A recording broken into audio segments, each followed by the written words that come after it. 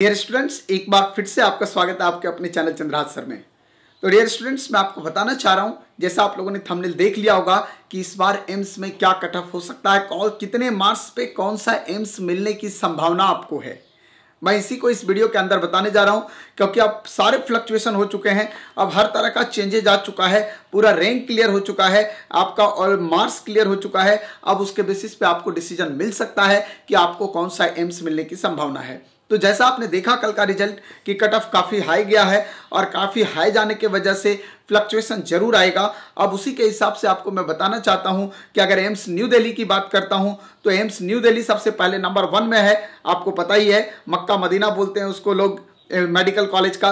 तो medical college का एक तरह से ड्रीम प्रोजेक्ट जो बोलते हैं हर एक स्टूडेंट्स का ड्रीम होता है कि मेरा लास्ट डेस्टिनेशन यही है। इंडिया में मेडिकल के लिए लास्ट डेस्टिनेशन माना जाता है। तो मेरे हिसाब से जो है वो आपका पहला चॉइस सॉरी फ़र्स्ट डेस्टिनेशन माना जाता है आपको कि पहला जो है वो मेरा यही होना चाहिए। इसके अलावा फ़र्स्ट एंड आखिरी यही हो। अब मैं आपको एक बात और बताना चाहूँगा कि अगर आप कैटेगरी वाइज कटअप देखोगे कि किस रैंक पे मिल सकता है, कितने मार्क्स पे मिल सकता है तो लास्ट ईयर की अगर बात करोगे तो जनरल कैटेगरी में जो है, वो 670 प्लस मार्क्स वालों को एम्स मिला था। लेकिन इस साल ऐसा नहीं होने जा रहा है, क्योंकि अगर आप जनरल कैटेगरी की बात दिल्ली में करोगे न्यू दिल्ली में एम्स में तो वहाँ पे 51 सीट हैं। और 51 सीट की अगर बात करते हो तो आपको मैं बताना चाहूँगा कि 701 मार्क्स वाले ऑल इंडिया रैंक 66 पे हैं। आप अंदाज़ा लगा लीजिए। अगर 701 नंबर वाले का ऑल इंडिया रैंक 66 है तो आप इससे आइडिया लगा लो कि आपका 700 प्लस मार्क्स होना चाहिए। अगर आपका 700 मार्क्स और 700 प्लस मार्क्स जा रहा है, तभी आपको जनरल कैटेगरी में एम्स न्यू दिल्ली मिलने की संभावना होगी। अब इसका मतलब है हाँ हो सकता है कि दो चार नंबर का फ्लक्चुएशन एक दो नंबर का आ जाए। इसलिए बोल रहा हूँ क्योंकि उस सिक्सटी सिक्स सीट में ओबीसी कितने हैं जनरल कितने हैं एससी कितने हैं एसटी कितने हैं, ये भी डिपेंड करेगा। लेकिन ये मार्जिन बहुत ज़्यादा नहीं जाएगा, क्योंकि एक एक दो दो नंबर के मार्जिन पे काफ़ी सारे स्टूडेंट्स हैं। अब इसके बाद आता है ओबीसी कैटेगरी की अगर मैं बात करूँ तो लास्ट ईयर आपको पता होगा कि लास्ट ईयर में जो है वो 670 प्लस पे ओबीसी मिल गया था वहाँ पे। 670 प्लस पे जो हाँ छह सौ अड़सठ प्लस पे जो है वो एम्स न्यू दिल्ली मिला था। लेकिन इस साल दूर दूर तक कोई संभावना नहीं है। इस बार छह नंबर प्लस आपको लाना पड़ेगा। छः सौ सिक्स नाइन्टी फाइव और प्लस सिक्स नाइन्टी फाइव तब जाके आपको ओबीसी कैटेगरी में आपको मिलने की संभावना रहेगी एम्स न्यू दिल्ली क्योंकि आपको पता है कि वहाँ पे ओबीसी का केवल ट्वेंटी सेवन सीट्स है, अब उसी ट्वेंटी सेवन सीट्स के लिए आपको फाइट करना है। एससी कैटेगरी में जैसा आपको पता है कि न्यू दिल्ली में पंद्रह सीट हैं, और वहाँ पे जो कट ऑफ़ जाएगा, इस बार हाई कट ऑफ़ जाएगा, और हाई कट ऑफ़ में आपका जो है, वो 655 नंबर आपका जा सकता है। मतलब 655 नंबर तक आपको जो है वो एससी कैटेगरी मिलेगा और 650 प्लस मार्क्स पे आपको जो है वो एसटी कैटेगरी में आपको एम्स न्यू दिल्ली मिलने की संभावना है। तो ये इस बार का cut off analysis AIIMS New Delhi का है। अगर हम एम्स भोपाल की बात करें तो एम्स भोपाल की बात करोगे तो वहाँ भी जो है वो कुछ ऐसा ही सिनेरियो लगभग बनता है, क्योंकि सीट एम्स भोपाल और एम्स दिल्ली में लगभग सेम है। अब 100 सीट्स की बात यहाँ पे करते हैं थोड़ा सा थोड़ा सा सीट कम है, क्योंकि वहाँ पे सीट एम्स न्यू दिल्ली में थोड़ा सीट ज़्यादा है।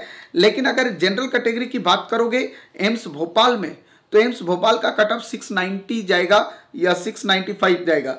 और अगर ओबीसी कैटेगरी की बात करोगे तो 690 प्लस ये कट ऑफ़ जाएगा, और 685 और 690 प्लस ये कट ऑफ़ जाएगा। वहीं एसटी कैटेगरी की अगर बात करोगे तो 650 से 660 प्लस पे ये कट ऑफ़ रहेगा। और अगर एसटी की बात करोगे तो 640 से 645 प्लस ये कट ऑफ़ जाएगा। मतलब इस बार इससे बिलो मार्क्स वालों को एम्स भोपाल नहीं मिलने जा रहा है। अगर एम्स भुवनेश्वर का आइडिया लें तो एम्स भुवनेश्वर में भी कुछ इस तरह का ही कंडीशन हुआ था। ये मैं आपको अब ऐसा एनालिसिस जो दे रहा हूँ, इसलिए दे रहा हूँ क्योंकि एग्जैक्ट कटअप निकल के आ चुका है। पहले हम लोग एक एक्सपेक्टेशन लगा रहे थे, पर आपको मैं लास्ट थ्री ईयर का रैंक वाइज के हिसाब से मैं कटअप जो देख रहा हूँ, उसके हिसाब से मैंने एक लिस्ट बनाई और कंपेयर करके बताया कि ऑलमोस्ट क्या फ्लक्चुएशन आया है। अगर देखोगे आप एम्स भुवनेश्वर की बात करोगे तो भुवनेश्वर में 680 प्लस पे जनरल कैटेगरी पे आपको मिल सकता है एमबीबीएस 670 प्लस पे ओबीसी पे मिल सकता है 650 प्लस एससी पे और 635 प्लस एसटी पे मिल सकता है। मतलब अगर आपका स्कोर इतना हो रहा है कैटेगरी वाइज तो आप चॉइस फिलिंग में इन कॉलेज को सबसे फ़र्स्ट प्रियोरिटी में रख सकते हो। इसके बाद हमारे पास आता है अगला स्ट्रैटेजी जो हमारे पास है, वो है, इसके बाद का एम्स जो है, वो है एम्स जोधपुर। वहाँ भी काफ़ी फ्लक्चुएशन देखने को मिलेगा। जनरल कैटेगरी में 670 प्लस मार्क्स पे आपको मिलेगा। वहीं छह ये 655 से लेकर 670 मार्क्स के बीच में ओबीसी कैटेगरी में मिलने की संभावना होगी। 635 से 650 के बीच में आपको एससी कैटेगरी में मिलेगा और 620 से लेकर 640 के बीच में आपको एसटी कैटेगरी में मिलेगा। मतलब एम्स जोधपुर में भी कटअप इस बार अच्छा जाने वाला है। लो कटअप पे आपको एम्स मिलने की संभावना कम रहेगी। इसके अलावा आते हैं एम्स पटना। एम्स पटना की बात करोगे तो एम्स पटना का जनरल कटअप जो होगा, वो 655 प्लस होगा, उससे नीचे नहीं जाएगा और ओबीसी का कटअप 645 से 655 के बीच में जाएगा। वहीं एससी की कटअप की अगर बात करूँ तो 630 से 645 के बीच हो सकता है और एसटी का कटअप जो है, वो 622 नंबर से लेकर 640 के बीच में हो सकता है। तो ये रहेगा इस बार का फ्लक्चुएशन आपका, जिसमें एम्स पटना की बात कर रहा हूँ। अब आपके पास आता है उत्तराखंड की तरफ़ चलते हैं, जहाँ पे एम्स ऋषिकेश एम्स ऋषिकेश में भी हम लोग को पता है सौ सीट है और सौ सीट में भी इस बार वहाँ पे पिछले साल तो 605 610 नंबर वालों को भी जो है वो एम्स ऋषिकेश मिला था। लेकिन इस बार अगर आप कैटेगरी वाइज भी हैं, तब भी आपको 610 नंबर पे एम्स ऋषिकेश मिलने की संभावना नहीं है। मतलब जनरल कैटेगरी में आपको 650 प्लस स्कोर करना पड़ेगा, तब जाको आपको तब जाके आपको एम्स ऋषिकेश मिल सकता है। और अगर आप ओबीसी कैटेगरी की बात है तो 635 से 650 के बीच में अगर स्कोर है, तब संभावना आपका जो है, वो एम्स ऋषिकेश का है। और 630 से लेकर 640 नंबर अगर आपका एससी कैटेगरी में है, तब आपको मिल सकता है एम्स ऋषिकेश। और 615 से लेकर 625 के बीच में अगर आपका एसटी कैटेगरी में है, तब आपको एम्स ऋषिकेश मिल सकता है। मतलब ओवरऑल जो जानकारी अब तक निकल के आ रही है, वो ये आ रही है कि अगर 600 से नीचे स्कोर है तो आप अपने चॉइस फिलिंग में एम्स ना भरें, क्योंकि एम्स के मिलने की संभावना नहीं होगी। 600 प्लस पे ही आपको एम्स मिलने की संभावना है, चाहे वो आप किसी भी कैटेगरी में हो जनरल हो ओबीसी हो एससी हो या एसटी हो, उससे बिलो पे, बिल्कुल संभावना नहीं है दूर दूर तक संभावना नहीं है कि आपको कॉलेज मिल सकता है एम्स का। अगर उससे कम नंबर है तो आप सेकेंड राउंड जब आपका स्टेट का होता है तो आप स्टेट के हिसाब से भरिए कि कौन सा कॉलेज मुझे अलॉट हो सकता है।